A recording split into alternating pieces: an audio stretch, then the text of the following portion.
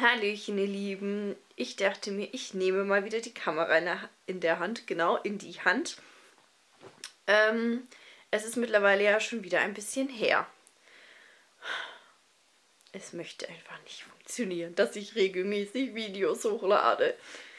Ja, das Ganze hat auch einen Grund. Die Leute, die mir auf Instagram folgen, die wissen bereits Bescheid.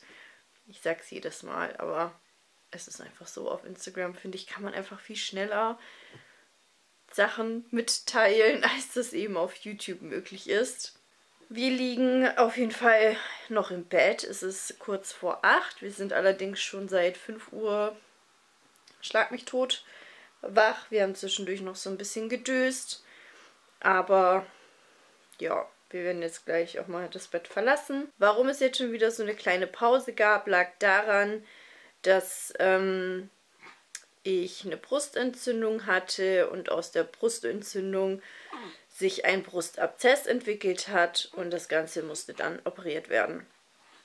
Und ja, die Woche davor war ich schon äh, ziemlich am Ende, weil im Raum stand, dass ich stationär aufgenommen werden muss. Und ähm, ja, aufgrund der aktuellen Umstände darf ja niemand mit ins Krankenhaus. Heißt, ich hätte auch Noah nicht mit ins Krankenhaus nehmen dürfen. Und als ich das gehört habe, ist für mich so eine Welt zusammengebrochen.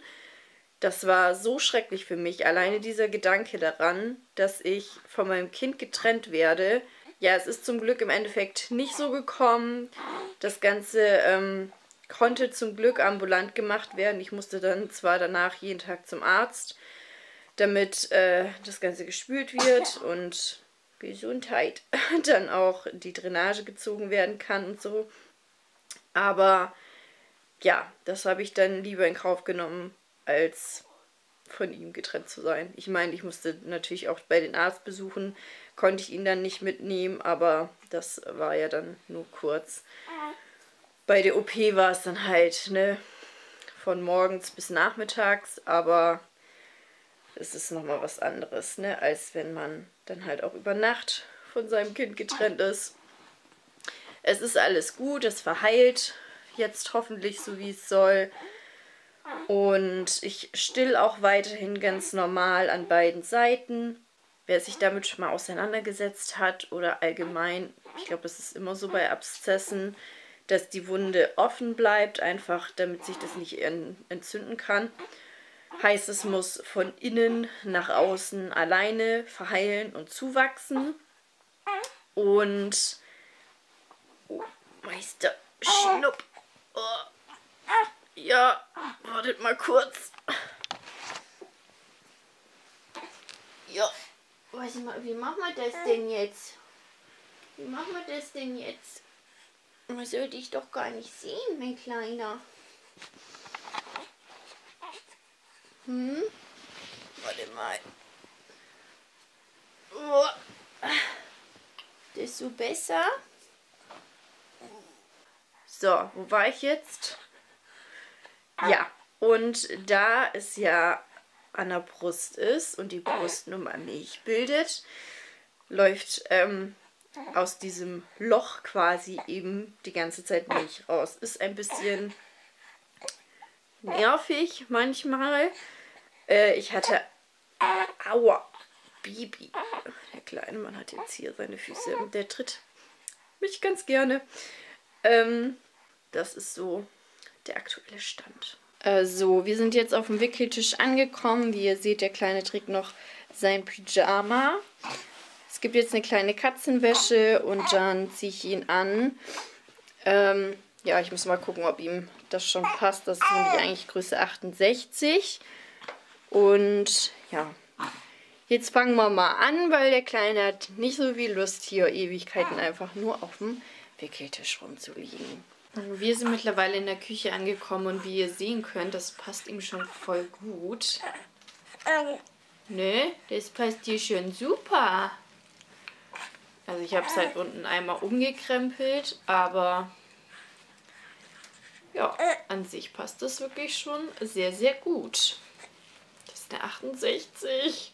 Baby, was ist passiert? Du bist so äh. groß geworden. Jo.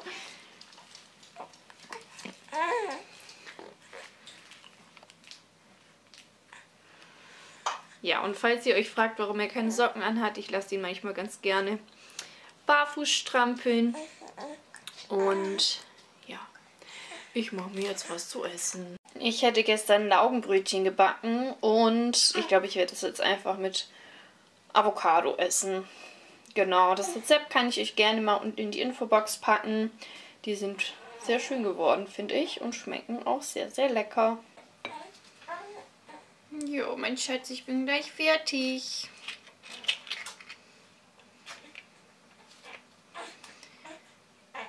Kleine Mann hat, wie ihr vermutlich hören könnt, gerade nicht so viel Lust, alleine in dem Körbchen zu liegen. Deswegen mache ich das jetzt hier fix fertig.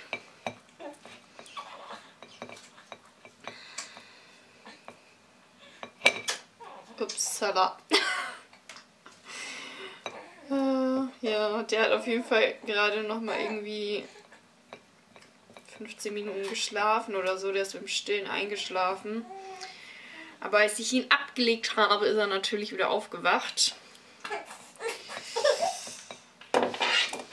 Oh, Schätzi Bär.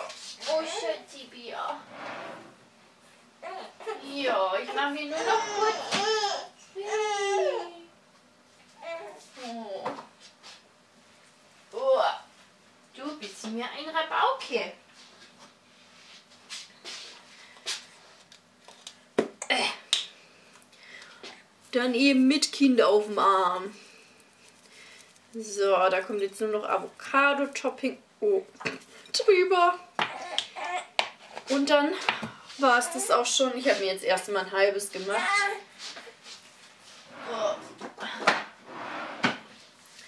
weil mein Hunger tatsächlich noch nicht ganz so groß ist. Und, und dann werden wir jetzt zusammen was frühstücken. Ne, kleiner Mann? Die Mama wird jetzt frühstücken. Guckt euch diese süßen Füßchen an. Äh, wir sind jetzt wieder im Schlafzimmer angekommen. Ich werde jetzt im Bett frühstücken. Weil es einfach gemütlicher ist. Und äh, ja, ich bin derzeit absolut nicht äh, so zufrieden mit meinem Sofa. Ich habe gestern auch schon nach einem neuen geschaut im Internet.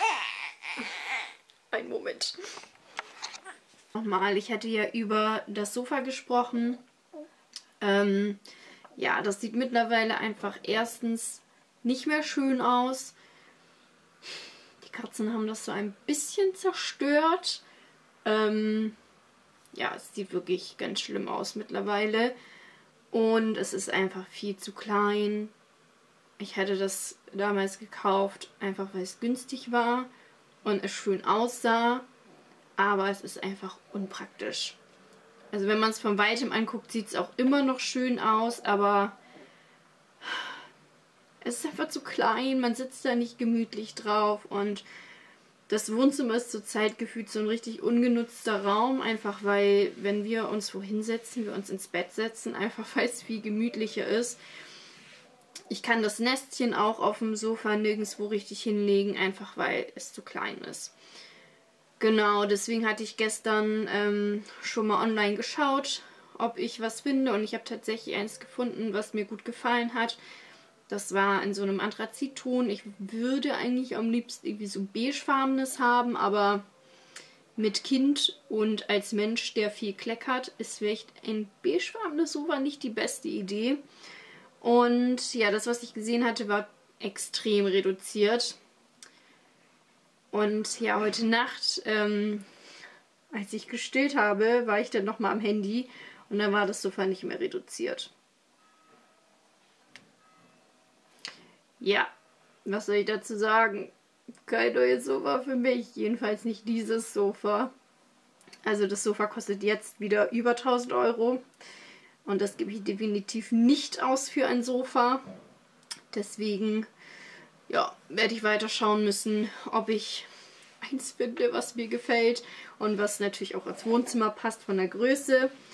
Aber ja, falls ihr irgendwelche Empfehlungen habt, wo es äh, gute Sofas gibt, die jetzt nicht unbedingt 1000 Euro kosten oder mehr. Ähm, ja, ich hätte ganz gern einfach eins mit einer großen Liegefläche und was auch nicht ganz hässlich ist. Ihr wisst, ich bin ein bisschen Optikmensch. ja. Genau, und ich könnte jetzt eigentlich den Haushalt machen, aber ich habe keine Lust. Deswegen chill ich mich, glaube ich, ins Bett. Und das ist übrigens der Beamer, der da steht. Und falls ihr hier Chaos seht, I'm sorry. Ja, das Bett ist nicht gemacht und dementsprechend liegen da immer alle Kissen und so, die eigentlich auf dem Bett drauf sind, äh, auf dem Boden weil es sich nicht lohnt, das Bett zu machen. Genau, und wir werden jetzt warten, bis die Post kommt. Ich hoffe, die kommt jetzt irgendwann zeitnah. Es sollen nämlich heute noch zwei Pakete ankommen. Und dann muss ich nachher aber auch nochmal zur Post selber. Ich muss nämlich noch ein paar Briefe abgeben. Aber das machen wir erst, wenn die Post da war, weil sonst verpasse ich die wieder und dann muss ich morgen oder übermorgen wieder zur Post ein Paket abzuholen. Genau. Und jetzt chill ich mich ins Bett mit dem kleinen Mann, anstatt den Haushalt zu machen. Mich hatte die Tage noch ein Paket erreicht. Das kann ich mal mit euch zusammen auspacken. Das habe ich nämlich noch gar nicht gemacht. Ich weiß aber, was drin ist. Äh, der ist jetzt ein bisschen schwierig. Oh wow. Ich weiß nicht, warum das in so einen großen Karton kommt. Aber nun gut. Ja, auf jeden Fall, das hatte ich bestellt. Das ist so eine, ja, so ein Transferpapier für T-Shirts. Ich wollte nämlich ganz gerne für Noah und mich was bedrucken. Für mich ein T-Shirt und für Noah wahrscheinlich ein Body. Und dafür hatte ich das bestellt. Mal schauen, ob das was wird. Habt ihr mit sowas schon Erfahrungen? Ich habe sowas, glaube ich, noch nie gemacht. Jedenfalls kann ich mich nicht erinnern. Mal schauen. Ich wollte das eigentlich schon vor ein paar Tagen gemacht haben, aber bis jetzt ist das leider noch nichts geworden.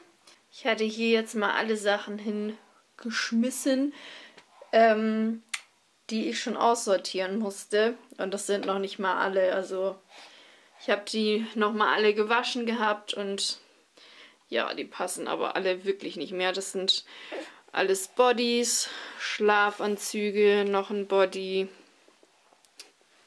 Oh, der ist auch so süß. Ja, also das ist schon einiges. Noch mehr Bodies, noch mehr Bodies, noch mehr Bodies, Strickjacken, Schlafanzüge, Hosen, alles Mögliche. Also ja, die Zwerge wachsen einfach so unfassbar schnell. Ich bin so froh, dass ich nicht viele Teile in ähm, 50 geholt habe. Und 56 auch nicht. Ja. Wir sind mittlerweile bei Größe 62 angelangt, teilweise 68, je nachdem wie die ausfallen. Das geht einfach alles viel zu schnell. Und da der kleine Mann so schnell wächst, müssen natürlich auch immer wieder neue Sachen her. Und ich wollte euch mal die zeigen, die sind so unfassbar süß. Das ist einmal hier so ein Hemdchen. Das muss ich jetzt nicht aufklappen. Äh, das ist auch ein Hemd. Ein, so, ein, so ein Body. Bodyhemd. Auch total niedlich. Und das ist äh, ein Set gewesen mit dieser Hose hier. Das ist ja voll meins, ne? Mit so Hosenträgern. So unfassbar süß. Die passen allerdings noch nicht. Das wird noch ein bisschen dauern. Aber ich fand das einfach so niedlich. Ja, und dann einmal hier noch so eine Lazode, die passt auch noch nicht. Wie Größe ist das eigentlich? Eh.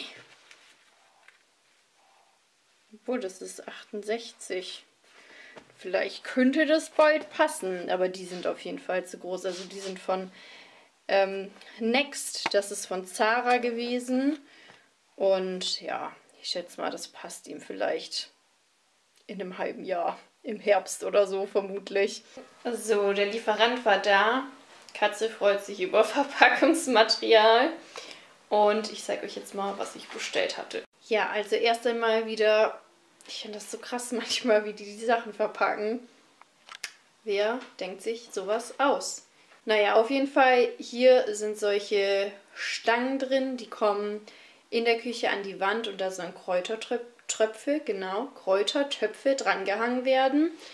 Und hier haben wir einmal einen Römertopf.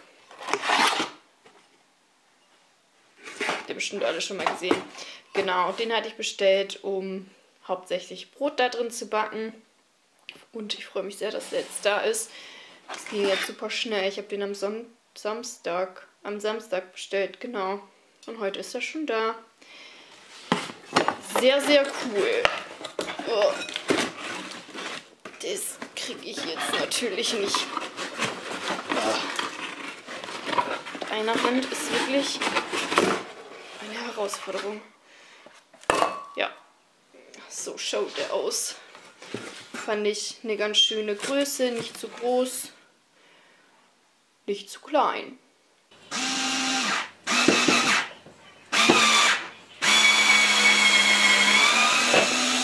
Also, wie ihr sehen könnt, die Stangen hängen jetzt. Habe ich sogar hingekriegt mit Baby in der Trage. Und ja, jetzt brauche ich nur noch Kräutertöpfe, die dann da aufgehangen werden sollen. Ich wusste nicht, wo ich die sonst hinpacken könnte. Auf der Fensterbank wäre super gut gewesen, aber ja, da würden die Katzen dran gehen. Dementsprechend dachte ich mir, wäre das eine ganz gute Alternative. Und ja, wenn wir nachher eh zur Post müssen, kommen wir sowieso an einem Supermarkt vorbei. Und dann werde ich mal schauen, ob ich da irgendwie Basilikum und sowas finde. Für mich gibt es jetzt noch ein Stück vom Bananenbrot. Der Kleine schläft immer noch, aber ich glaube, der wird jetzt zeitnah auch wieder aufwachen. Es ist mittlerweile, glaube ich, schon halb eins oder so. Und ich habe echt Hunger. Deswegen, ja, das muss jetzt auch langsam gegessen werden. Ich bin jetzt in der Küche, wie ihr vermutlich erkennen könnt. Ja, wir haben das Haus äh, bis jetzt noch nicht verlassen wir werden es jetzt auch nicht mehr verlassen. Es ist jetzt, ich glaube, halb sechs oder sechs. Und die Post hat dementsprechend schon zu. Das war ja der Hauptgrund, warum wir überhaupt raus wollten, weil ich auf jeden Fall noch was wegbringen muss. Ja, werden wir dann morgen in Angriff nehmen. Ähm, der Kleine ist heute nicht so ganz gut gelaunt. Deswegen dachte ich mir, das muss ich ihm jetzt nicht antun und mir auch nicht. Dann werden wir das morgen in einem machen mit Einkaufen und so. Ähm, ja, ich bin jetzt am überlegen, was ich essen kann. Ich habe nicht mehr so großartig viel da, beziehungsweise ich habe natürlich, ich habe immer irgendwas da zum Essen, aber ähm, irgendwie nicht das, worauf ich Lust hätte. Ich kann gar nicht sagen, worauf ich Lust habe, aber ich habe nichts Frisches mehr da. Kein Brokkoli oder sowas. Jetzt muss ich überlegen. Ich habe überlegt, ob ich mir Dampfnudeln mache oder Milchreis mit Kirschen. Das hätte ich noch da. Oder ich mache mir einfach Backofen-Pommes oder so. Aber ich habe keinen Ketchup. Und Pommes ohne Ketchup. Hm. Ich sehe richtig gut aus heute, ne? Ja. Ich glaube fast, dass ich das Video dann hiermit auch beenden werde. Wir machen heute vermutlich nichts mehr. Oh, dann kann ich morgen auch Kräuter kaufen. Gute Idee. Ähm, genau. Wir Bibi. Wir machen heute auf jeden Fall nichts mehr großartig aus überlegen, was ich essen kann. Und äh, vielleicht noch ein bisschen aufräumen. Ich habe vorhin auch nur Haushalt gemacht. Mit ihm in der Trage. Das klappt immer, beziehungsweise im Tragetuch. Das klappt immer am besten. Ähm, Gerade Staubsaugen findet er immer sehr cool. Da schläft er eigentlich grundsätzlich bei ein. Das mache ich immer, wenn ich merke, okay, er findet irgendwie nicht in den Schlaf und wird so quengelig. Ähm, dann mache ich ihn immer ins Tragetuch und staubsauge einfach die Wohnung und bis ich dann fertig bin, schläft er eigentlich auch immer. Ähm, ich wollte das Video aber beenden. genau. Ich hoffe natürlich wie immer sehr, dass es euch gefallen hat. Ich werde versuchen, wenn nicht wieder irgendetwas dazwischen kommt, in nächster Zeit die ganzen Videos abzudrehen, die ich geplant hatte. Ähm, Erstausstattung, Vorbereitung auf Geburt und so weiter und so fort. Und ja, dann hoffe ich natürlich wie immer sehr, dass es euch gefallen hat und wir uns beim nächsten Mal wiedersehen. Tschüss!